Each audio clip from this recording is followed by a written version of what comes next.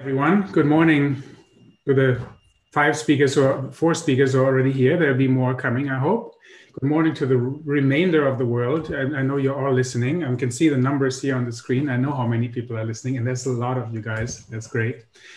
Um, and so every, I mean, every Tropentag starts with a Tropen morning. Yeah, so this is the morning of the Tropentag. It's usually kind of the hangover period, not this time because the parties didn't happen last night, or everybody had them on their own. But it seems like all the speakers who made it here look very fresh and motivated to give us a, a great session on what was it called again? Uh, climate change mitigation and adaptation. We have a well, a pretty colorful mix of, of topics here. So as usual, the poster sessions will be a wild ride throughout the, the tropics and, and, and other parts of the world. And I would propose that we get started. We have uh, 45 minutes. We have um, nine presentations. Um, so each, um, each, I think all everybody has recorded a video ahead of time. So we'll be watching these videos. They're between three and five minutes long. And so after each one, we should have a bit of time for questions. Uh, questions, especially to the audience out there, the questions cannot be asked in the YouTube channel if you're watching on YouTube, but they have to be entered in the uh, Whova app. app. Yeah, so if you want to ask a question, please go there and let us let us know. Type the type the message there. I hope hope everybody can find it. Um, yeah, so I'll be I'll be watching, I'll be monitoring closely what questions come in. Um, the speakers will be happy for to answer everything that I, well, all questions that you may want to ask. If you don't, then I'll be asking the really tough questions. So don't do that to the speakers. Um, ask easy questions or ask questions that are interesting and uh, can uh, get us into a bit of a discussion. Um, so I think with that, I don't want to, this is not my, I'm not the presenter here, so I don't want to waste everyone's time. And I would propose that we jump right into the, um, the first presentation. So we'll be watching a video by Macarena San uh, Martin Ruiz. So the Macarena video, I think we've all seen that before. no, um, this will be on, on recycling of coffee byproducts by composting regarding climate relevant emissions and products. And um, I would ask the um, technical team our large technical team to start the first video for us.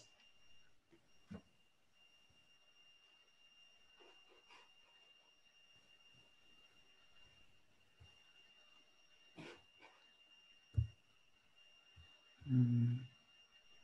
Well, please, are you there? My name is Macarena San Martin from University of Stuttgart, and today I'm going to present the San Martin. you share the share the screen. Yeah, okay.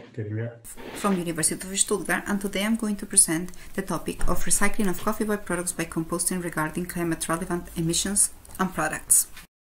The coffee sector in Costa Rica has itself the goal of a sustainable management of coffee byproducts incorporating climate change adaptation measures into its practices. Therefore, emissions play an important role in future assessments options for climate change mitigations. Coffee pulp is the organic waste generated from the wet processing of the fruit, which can become, if not properly managed, a highly polluting waste generating odor, larvae, flies, and greenhouse gas emissions such as methane. The mill of the study generates about 37,000 tons per year of coffee byproducts per harvest, where more than the 60% of the pulp is being composted without the addition of any extra material, and the rest is going to fill the position without prior treatment. Therefore, the main objective is to enhance the opportunity of an improved compost production and at the same time advance to a circular economy in the coffee industry.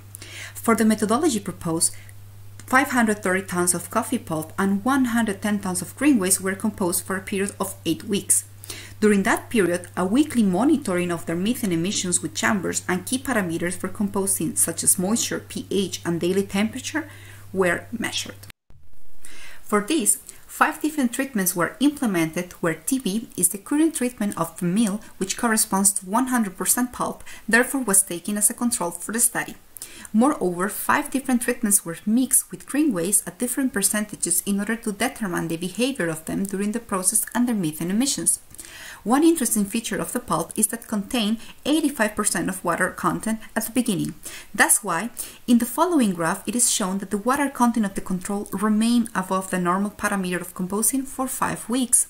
And if we look on the table 1, after the process of the composting is finished, the control remain as a fresh compost and the proposed treatment are estimated as finished compost according to the degree of composition or rotting degree parameter.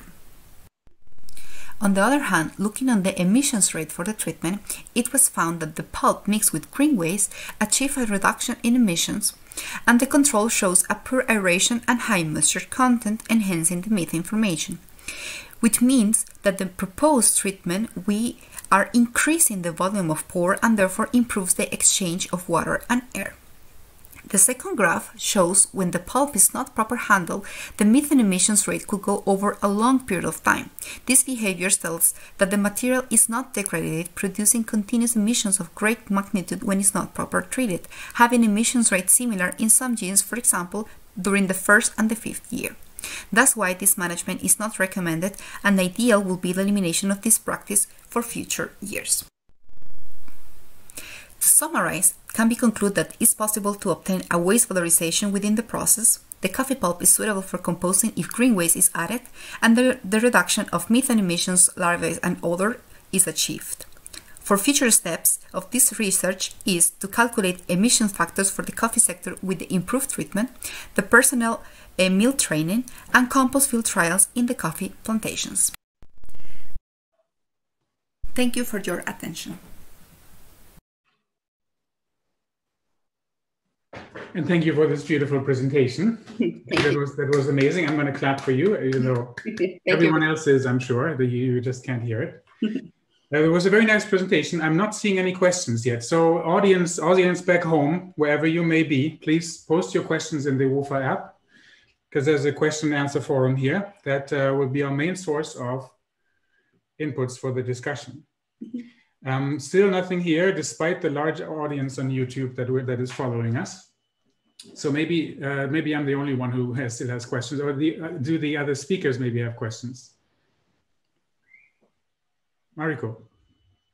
Good morning, everybody. I'm Ziba Barati, a PhD student at Hohenheim um, University. I would have a question. Um, did you also measure other gas emissions, not only methane? Well, this is actually, um, the project is divided like in three phases. So right now I'm just focusing since this is just a poster on the emissions part, but we were also measuring nitrous oxide emissions mm-hmm. in the uh, composting and in the coffee plantations because mm-hmm. the idea at the end is to reduce the nitrous oxide emissions from the coffee plantation but for that the idea will be the reduction of the inorganic fertilizers so that's why we have to start at the beginning from the composting and then to to reach the coffee plantations at the end mm-hmm. Okay, thank you very much. Mm-hmm. All right, I also have a question. So it sounds like a no-brainer. It seems like it's a it's a great idea to to add green waste to um, mm-hmm. to the pulp. Why are people not doing it? What could be impediments to adoption? Is it really expensive? Yeah, it's it's, it's pretty uh, complicated. Like a few years ago, we were together with the Nama Coffee uh, facility in the country, uh, trying to investigate more like about the practices that the, like the farmers were uh, doing with the uh, coffee pulp but unfortunately the, they are following what the others are following. Mm, okay. so at the beginning they were dumping them in the river like of course the smell like the people were complaining a lot in the in the in the surroundings. And then they found out that it can be composted. So they were just doing it with 100% uh, pulp. Therefore like the aeration was not enough and that's why they were having high uh, methane emissions and high odors as well Okay. And then we were start trying uh, since three years already with this practice, and seems like has been helping a lot in the in the population and in the in the composting itself. All right. Yeah. Good answer. so we had two really insightful answers to uh, our questions, and I think that's all we can afford in this session. I'm afraid because it's pretty high throughput, and we may have to already thank you. Well, first of all, thank you very much for preparing this for us and informing us about this uh, interesting topic. And we move on to the next one, uh, which is going to be Ziba Barati, who is going to talk about uh, environmental impact assessment of rice cultivation in Da Nang, Vietnam, options for sustainable production systems. Take it away. Good morning, everybody. I'm Ziba Barati, a PhD student at Hohenheim University. This poster is about environmental impact assessment of rice cultivation in Da Nang, Vietnam, to develop options for sustainable production systems. Rice is the main staple food in Vietnam, which occupies the biggest share of the agriculture areas. This also applies to the city of Da Nang, located in the central region of Vietnam. The overuse of inputs in terms of fertilizer, pesticides, and water in the rice production system resulted in environmental problems and also health issues for the population. The main objective of this study was to assess the environmental impact of the traditional rice farming system in Da Nang. The environmental impacts was analyzed following standard methods. Potential scenarios were modeled and evaluated based on the functional unit of 1 kg harvested rice. The environmental impacts of the scenario were evaluated regarding the global warming potential, the primary energy demand, the eutrophication potential, and water consumption. Figure 1 shows system boundaries of the LCA model in this study, and Table 1 shows alternative rice farming scenarios. In figure 2, we can see the result of LCA for global warming potential, eutrophication potential, primary energy demand, and water consumption for different alternative scenarios. The result of global warming potential showed advantage when applying alternating wetting and drying. Moreover, evaporation of residual resulted in a higher global warming potential in the pairwise comparison with the baseline and the alternating wetting drying scenarios. Furthermore, burning and composting of rice straw resulted in the highest global warming potential. In addition, the eutrophication potential indicated that an incorporation of residual or application of composted straw have positive effect. This also applies for the primary energy demand and the water consumption. Results show complex interlinkage and trade-off in both within and between the chosen impact categories. Applying alternative rice cultivation system can result in a lower global warming potential, but causing a higher water consumption, primary energy demand, and eutrophication potential instead. It's highly dependent on the local condition. Therefore, further studies need to clarify local best practice solutions based on site-specific data. Thank you very much for your attention. Good morning, everybody. Good morning, everybody. No, you're very welcome for our attention, we, which was not hard to keep because it was a very interesting presentation and interesting study. Um, I've just been alerted that the Q&A link does not work by our conference chair, which means that we I can stare at the screen as long as I want and there won't be any questions. I keep staring, maybe they'll come in, but it may maybe just us guys that we have to ask those questions. So, dear speakers, for example, Win 10 Pro X. Yeah. Yeah. Oh, that was okay. That was a video. Any questions, guys? Otherwise, I'll have to ask one. I will ask one. Um, so, if I, if I got you right, you said the drying wetting management practice would be preferable in terms of emissions. Is that just something that scientists cook up, or is that realistic under local conditions? Because it's quite a bit harder to manage, right, than, than all the other measures that you can take.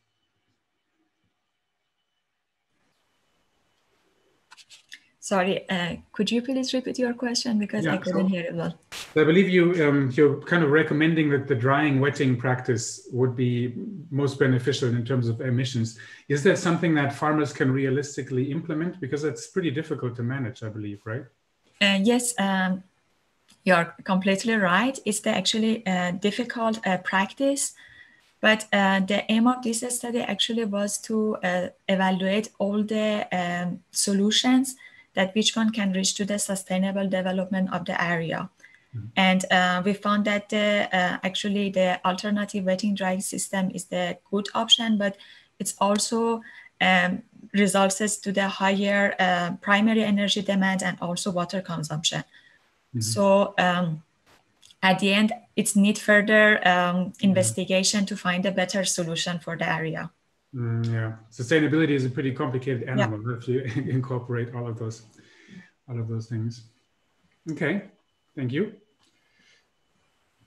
Any other questions?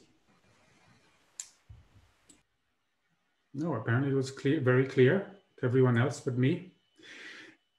So thank you very much for your presentation. And we move on to the next speaker, who's uh, possibly not here. Amit Kumar Srivastava from the University of Bonn, my favorite university in Germany. Does not yeah, seem to be here. Uh, hello, I, am there, but my computer's name is different and I couldn't manage to change it. Ah, okay. So Win 10 Pro. Yes. yes. That's, uh, that's Amit, huh? Yeah. Well, in that case, brilliant. Um, let's hear your presentation. You don't have to give it yourself. We'll hear the listen to the video. Mm. Hello everyone, my name is Amit Srivastav and today I'm presenting on behalf of all my co-authors our model-based simulation results about the existing yield gaps in cassava, which is a tuber crop whose importance as a major food in sub-Saharan Africa and Nigeria in particular is well documented. So estimating yield gaps in Nigeria is important firstly because such analysis provides an indicator for prioritizing the most important crops, factors limiting the current productivity, and identifying the yield gap hotspots. So given the backdrop, we set the following objectives. First was to evaluate the performance of the LINTUL 5 crop model for simulating the growth and development of cassava at the field scale as well as the states level in Nigeria. Actually, we carried out this analysis into the 10 states of Nigeria. And second was to identify geospatial gradients of meteorological factors and the effect of climate on yields and yield gaps. So by definition, the yield gap of a crop grown in a certain location and cropping system is the difference between the yield under optimum management and the average yield achieved by the farmers. So yield under optimum management is labeled as potential yield under irrigated conditions or water limited potential under rain-fed conditions. In this study, uh, we used LINTUL 5 crop model which was calibrated for an early maturing cassava variety called TME 419 uh, which which was actually from IITA, International Institute of Tropical Agriculture in Ibadan, Nigeria. And we gathered the data at field scale and from the experimental site known as Ikenne, which is located in the humid tropical zone of Nigeria. However, in order to run the calibrated model at states level, we embedded the, the same model into the modeling framework called SimPlace, which stands for Scientific Impact Assessment and Modeling Platform for Advanced Crop and Ecosystem Management. The final simulation was run at 1 kilometer spatial resolution, corresponding to the spatial resolution of the soil input data, which were extracted from the ISRIC soil database. So for each of the simulation units, which were defined as a combination of soil characteristics, climate and crop management data. Here you see the results of the LINTUL 5 crop model calibration. Here you see the observed and simulated yield agreed well in Ikenne. The simulated yield under fertilized and controlled conditions were overestimated by 12.3 and 9.3% respectively, whereas, whereas the simulated above ground biomass was overestimated by 9% and 1.5% under fertilized and unfertilized conditions respectively. When the same model was applied at 10 states, uh, average simulated yields of these states were in range of observed yields, average which was av averaged over 16 years of the data with a root mean square error of 0.5 tons per hectare. Uh, the discrepancy, however, what we saw between observed and the simulated yield could have resulted from variable fertilizer application rates. Actually, we assumed only 16.2 kg per hectare of N all over the states and also due to the some soil parameters used from the ISRIC-WISE database which refer to soil samples that may not be representative of large areas. So available soil data does not likely represent long-term cultivated nutrient depleted soil here. Now here comes the our results for the yield gap estimation. Here what you see is the uh, yield gaps in cassava productions are really high and show variability across these traits. The, uh, they are ranging from 6 tons to 9 tons per hectare dry matter whereas the water limited potential yield gap ranges from a minimum of 2.8 tons per hectare to a maximum of 6.2 tons per hectare dry matter. We also carried out multiple regression analysis which showed that the potential yield correlated spatially with R square of 0.85 as well as temporally with R square of 0.67 significantly with the radiation. Moreover, the potential yield gap was significantly correlated with the mean temperature with R square of 0.90. So the result of the multiple regression out, outlined that, that the mean temperature and the radiation are the main limiting factors for the cassava yield under potential conditions. However, yield gaps due to water limitation and the associated spatial and temporal variability wasn't explained by any of the weather parameter that we tested actually in the regression analysis. So in conclusion, what we can see is, is the there was a high yield gaps of cassava in Nigeria and uh, which indicates actually that there is a potential for Nigeria's farmers to increase the yields. Most farmers cultivate cassava on infertile soils and with little or no use of fertilizer. Therefore, proper fertilizer management is needed and if possible and wherever applicable, adding irrigation water would achieve higher yields. Thank you and I'm open to the questions. Right. We are ready to ask questions, right guys? Thank you for your presentation. Uh, Amit? Thank you. Do we have any questions in the audience? Seems like the Q&A link still does not work.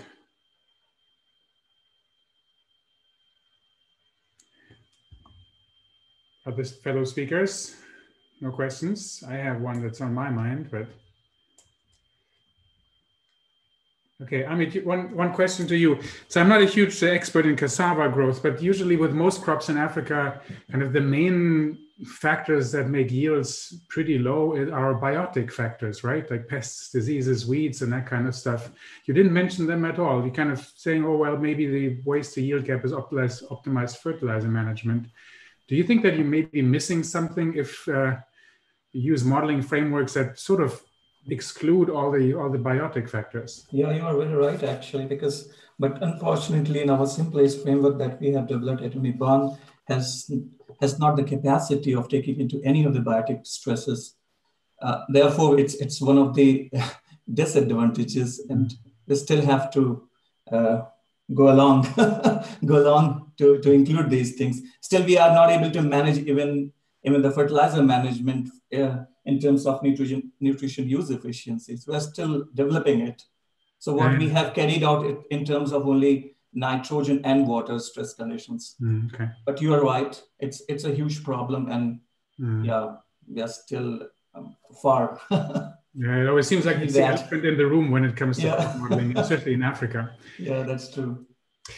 Um, Okay, thank you. It seems it seems the Q and A link does work again. I'm just seeing. So everyone listening on YouTube or wherever, whatever other forums. University of Bonn, Germany. What? Okay, there was um, some uh, other voice coming in. So so try try again if you can ask questions on on the Whova app. Um, thank you, Amit you talk your presentation was very long, so we can only ask one question. Sorry, yes, sorry for that. let's move on to Azim is also here. Fazali Azim Khilji, is that right? From yeah. from the arts program in, in Bonn, apparently a fantastic yeah. program, I have to say. And he's going to talk to us about uh, an analysis of the impact of climate change on the stream flow of uh, Shastra watershed in Afghanistan. I'm sure I mangled that. So, but let's let's uh, let's hear him talk about it rather than me.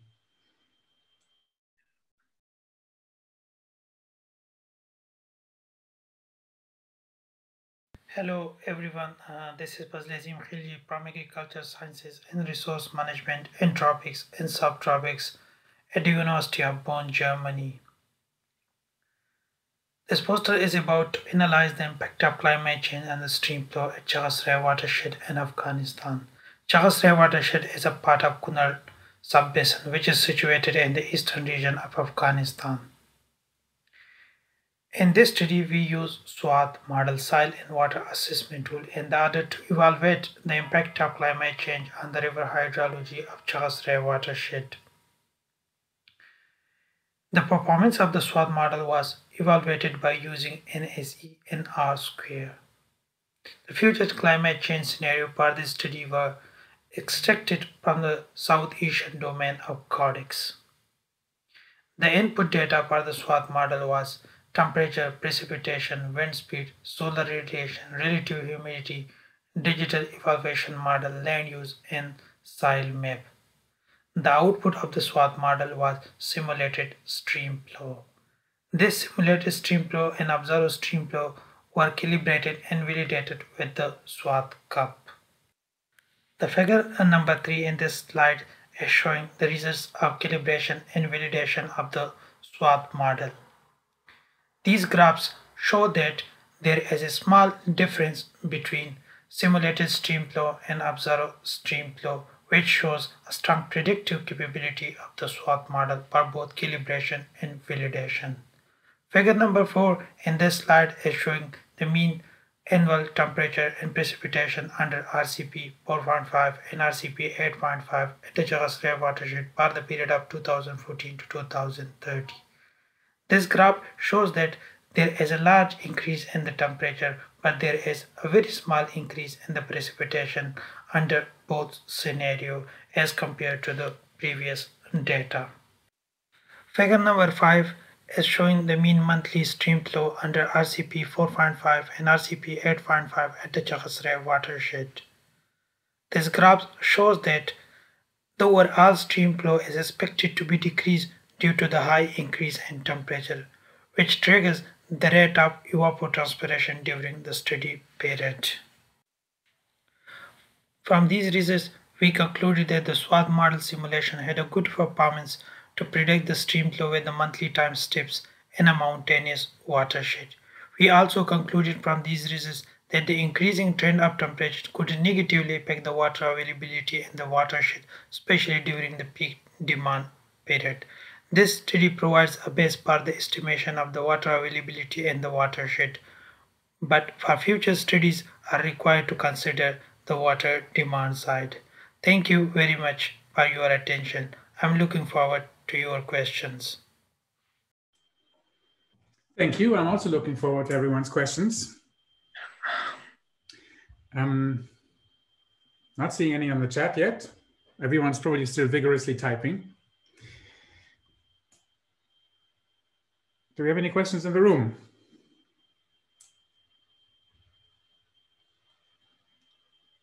Not seeing any.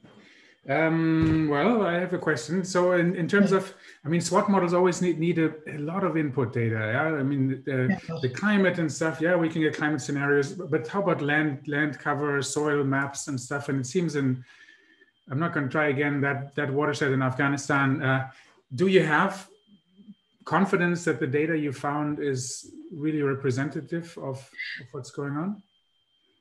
The, the data we got, it was uh, some data from FAO, some was from Agromet, which was uh, recently they have started some projects uh, uh from 2000, 2000 and they have installed some uh, meteorological stations and hydrological uh, stations. So we got the data and then there were some other station which we compared the data because uh, uh, there were a lot of missing, there were a lot of gaps in the data. But after comparing these data, and then we did some uh, bias corrections. Uh, mm-hmm. And after that, we realized we compare with the previous uh, data. So finally, we, we filtered those data and it was somehow like 90 90% was the data was uh, accurate because there was no any other data available. So we struggled very hard to to to manage the data.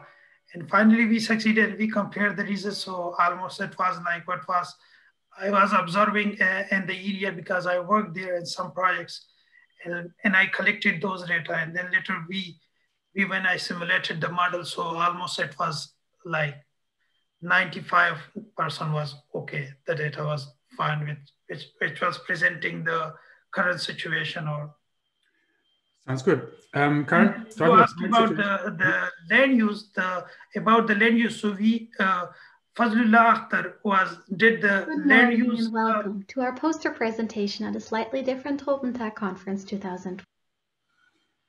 Okay, thank you for that input. that means that means we have to talk, stop talking about land use and we have to talk about something else. Yeah, so I was talking about the land use.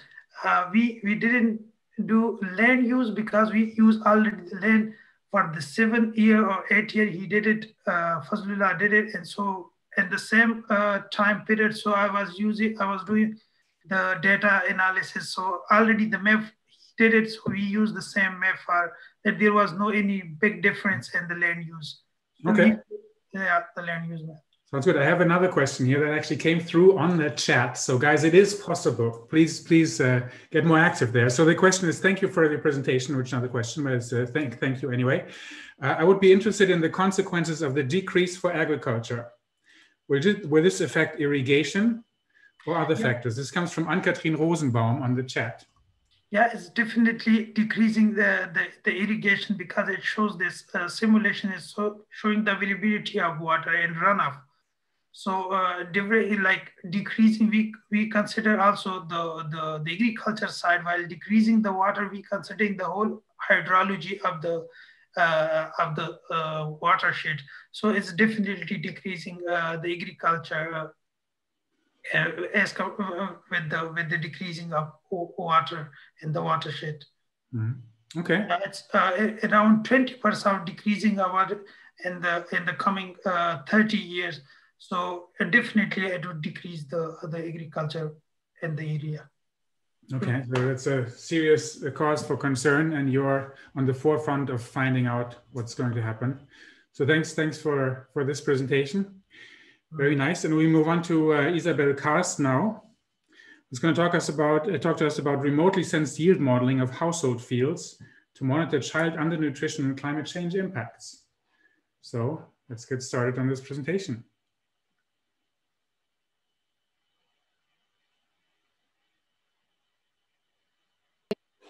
Good morning and welcome to our poster presentation at a slightly different Tropentag conference 2020. No matter where you are, we hope you are well. I am Isabel Karst from the Remote Sensing Solutions GmbH in Munich, and I am presenting our results for the name of Isabel Mank from the University of Heidelberg and our entire international research team that we collaborated with. In our project, we looked at the potential of remote sensing data to model yields of individual household fields. Yield quantification is especially crucial in the context of subsistence farming and undernourishment of children. Our main research questions were, first of all, can remote sensing, in our case Sentinel-2, be used to model yields at household scale? And secondly, how reliable are yield predictions to counter food insecurity and child undernutrition? Our study area is based in the Nouna HDSS in rural Burkina Faso in West Africa. It is dominated by small-scale subsistence farmers that mainly rely on rain-fed farming of very small fields. The area is highly affected by climate change and consequential climate extremes. The figure shows the increased rainfall variability, and based on these, farmers face changing crop calendars, yield loss, and food insecurity. As a result, undernutrition of children is high. Our methodology is based on field data and the remote sensing time series from the Sentinel-2 satellites. While the field data is comprised of household points, field outlines, and yield measurements, we calculated different vegetation indices for the time series. With the time series and yield measurements, we created a multiple linear regression model, which then again was applied to our field outlines to model yield for five different crop types.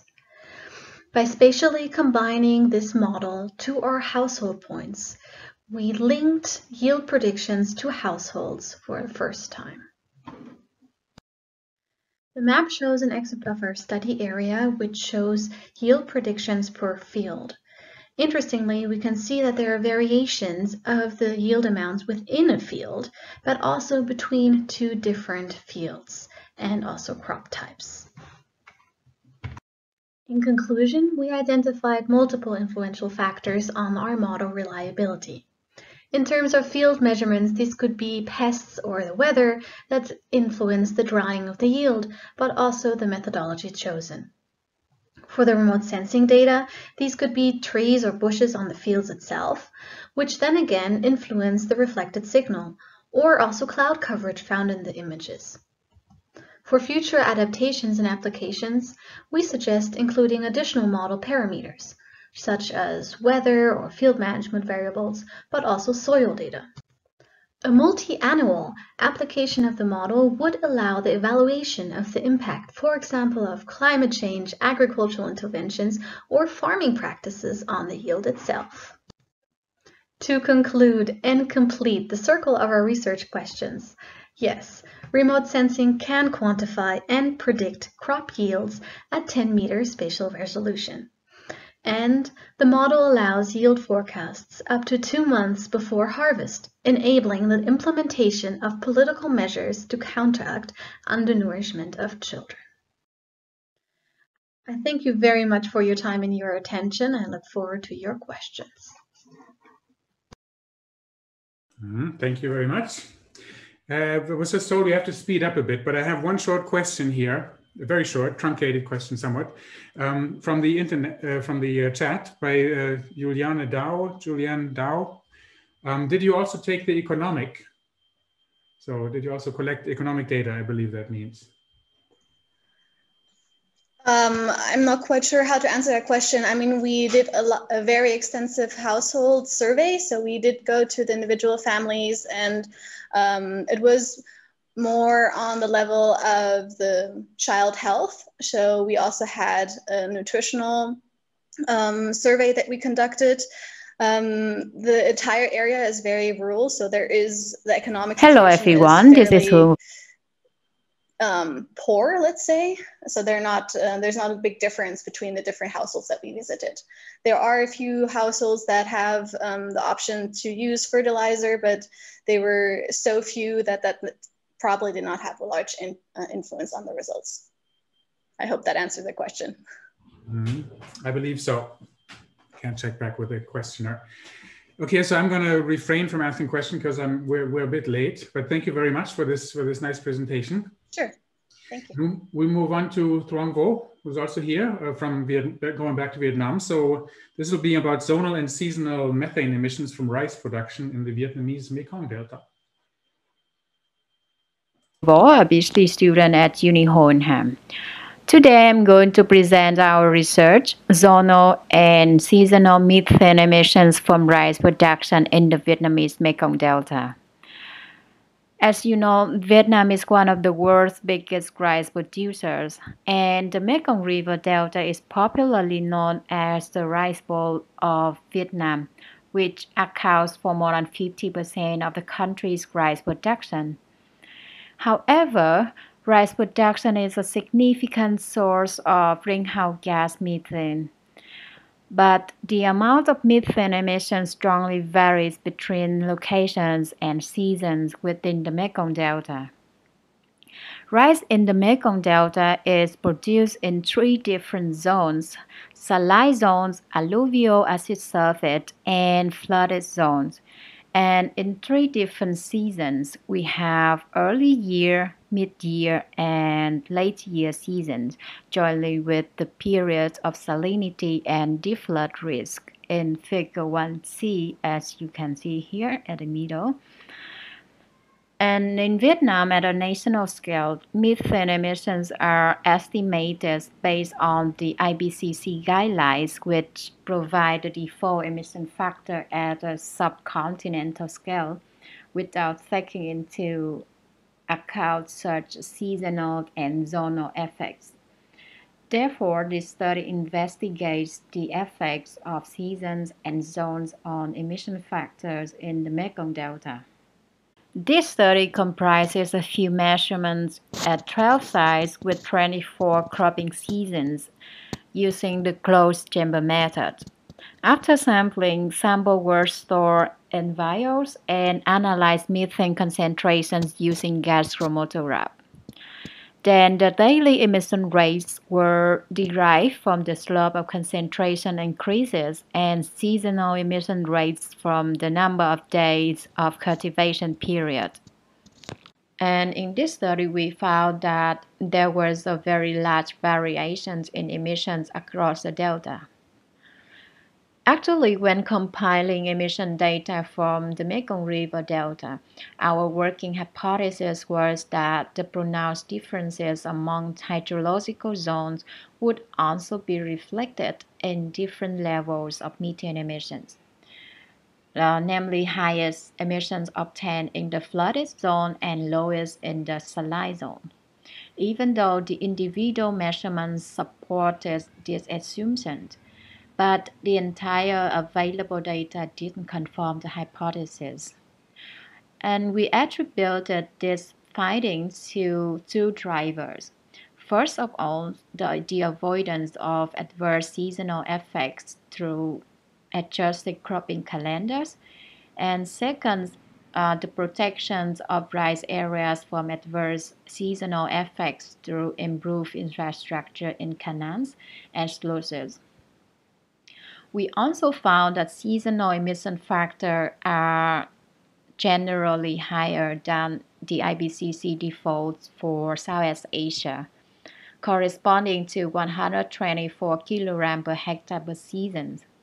However, when looking at the seasonal differences, we found that the seasonal emission rate of the two seasons Early and mid-year seasons are significantly different, whereas the late-year seasons were not included in the analysis due to the limitations of number of measurements.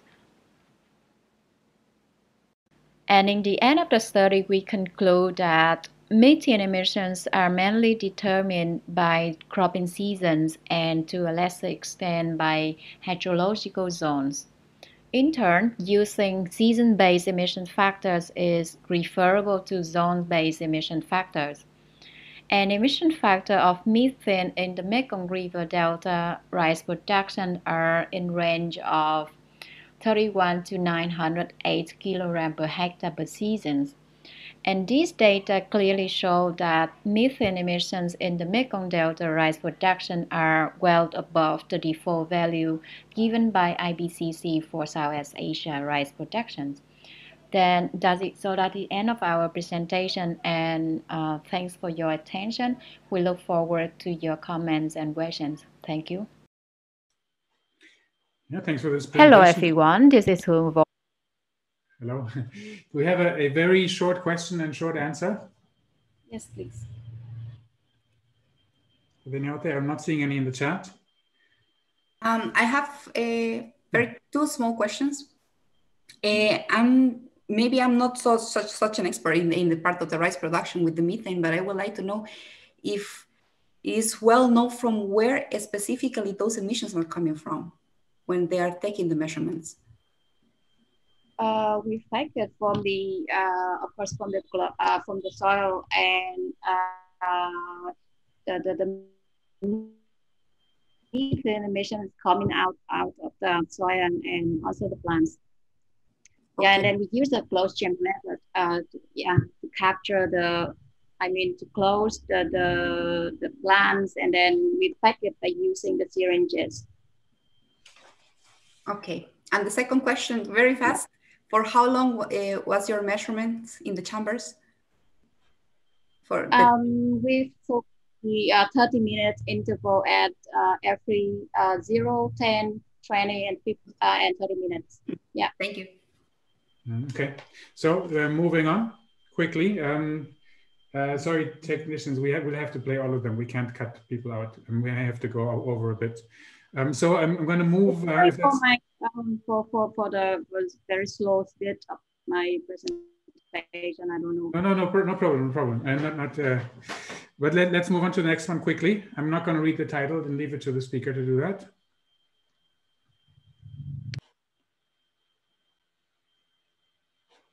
Dear audience, I'm delighted to welcome you together with my co-authors to this poster presentation.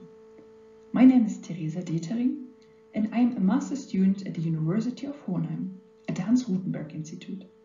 And today, I will present my master thesis research with the topic Methane emissions of different rice varieties, diurnal emission patterns of three development stages. This master thesis was conducted in collaboration with an existing PhD field trial in Vietnam. Currently, the atmospheric concentrations of the greenhouse gas methane, which is 28 times more potent than CO2, are rising faster than at any time in the last two decades. To combat climate change, it is essential to quantify and mitigate the main anthropogenic sources of methane, including rice production. It is important to know that CH4 emissions from rice paddies show significant diurnal variations, but these are neglected when field measurements are scheduled at a fixed time of a given measuring day, leading to over or underestimation of emissions. To detect and analyze diurnal methane emission patterns of local rice varieties and to use this data to correct emission factors and furthermore allow the selection of low emitting rice varieties we conducted a field experiment in the An Giang province of the Vietnam Mekong River Delta. Methane fluxes were determined using a manually operated closed chamber method. CH4 samples were collected at 0, 15 and 30 minutes after chamber closure and analyzed with a gas chromatograph. Now I would like to move on to the results. You can see the three diurnal measurements illustrated as line graphs. The different colors of the lines represent the three rice varieties. We can observe that the CH4 emissions of all three diurnal measurements gradually increase from the morning onwards, exhibiting the highest methane fluxes in the early afternoon between 12 and 3 pm. Furthermore, clear diurnal emission patterns can be seen at tillering and flowering stage by methane fluxes at panicle initiation show lower values and diurnal variations are less pronounced. If you compare the varieties with each other, it can be seen that OM576, here illustrated with the blue line, showed the least methane fluxes and lowest peak emissions at all development stages. And also when we look at daily methane emissions and compare OM18, here seen as a red bar, with OM576 in blue. We see that the differences in daily methane emissions become more and more pronounced in later stages of development, leading us to the conclusion.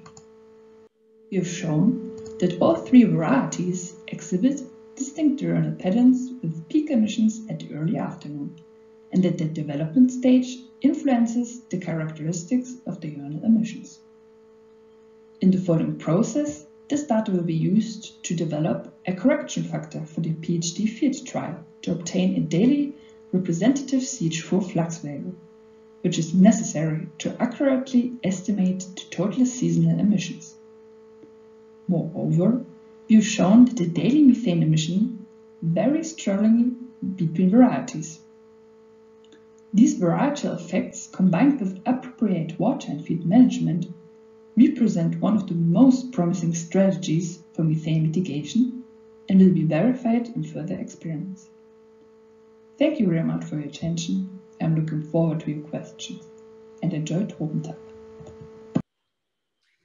Yeah, unfortunately, uh, Teresa told me in the morning that she can't make it for, for personal reasons, so we can't ask her questions, and we can um, take her anyway for the video in case she's watching from somewhere. Um, and uh, we'll move on over to Mariko directly, to Oman. Welcome to this short introduction of our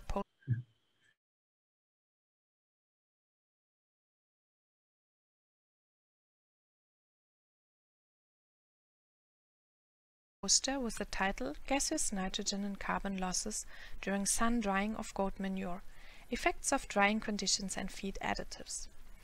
Animal manure is an important resource in many agricultural systems. However, improper conservation and storage can lead to considerable carbon and nitrogen losses. Charcoal and tannins used as feed additives can stabilize organic matter and nitrogen in manure due to their properties.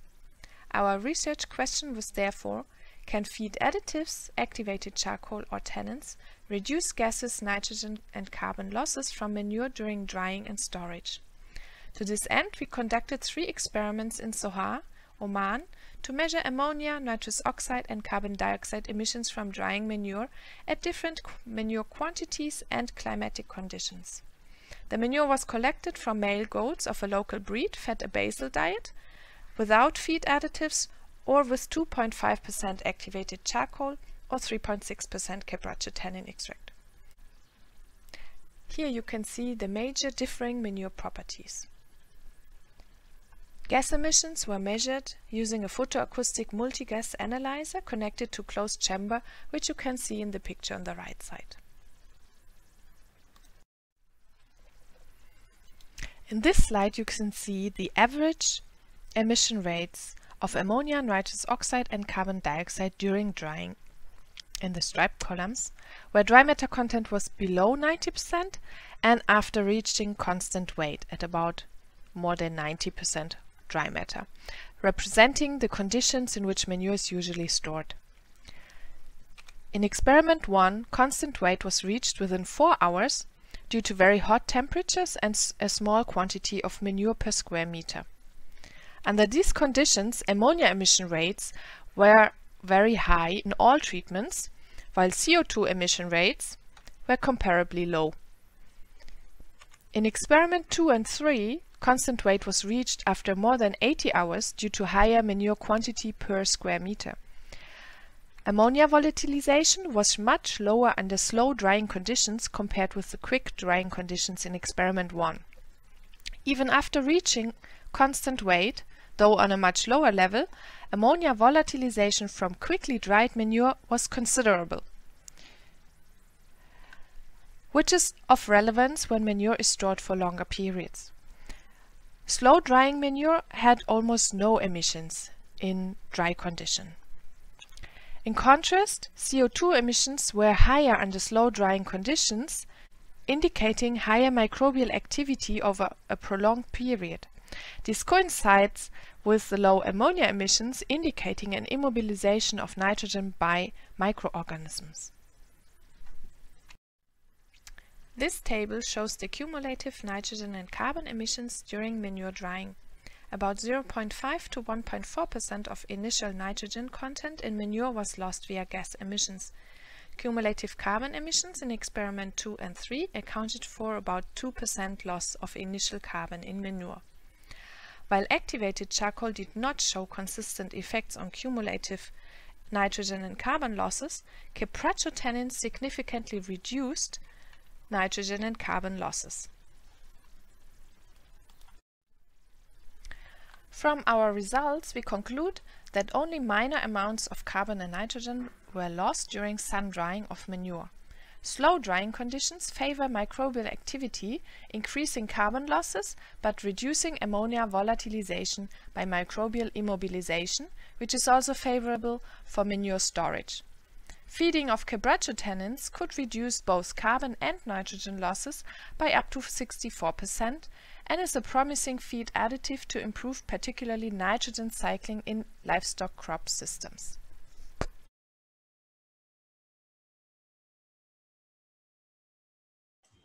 All right, thank you. Um, I don't think I'm allowed to allow any more questions because I'm a, I'm a terrible time manager, as you may already have noticed. We had, I think, um, so, but so thank you anyway for this uh, nice excursion to Oman, uh, where I did my PhD in kind of related projects. So this always, uh, whatever, strikes the chord with me. Um, thanks everybody for this exciting session. I think uh, we went a bit over time, but I, I, hope it was all worth it. We had well over 30 um, listeners or watchers on, on YouTube, which is fantastic. So we're all YouTubers now. Congratulations, guys. Um, thanks, thanks for everyone's contributions. I think it was really exciting. And um, well, I wish you a lovely conference and I hope to see you again, possibly in the afternoon when we have the um, oral, the slightly longer oral presentations at three o'clock on climate change adaptation and mitigation. Thanks a lot and enjoy Tropentag 2020. Bye-bye.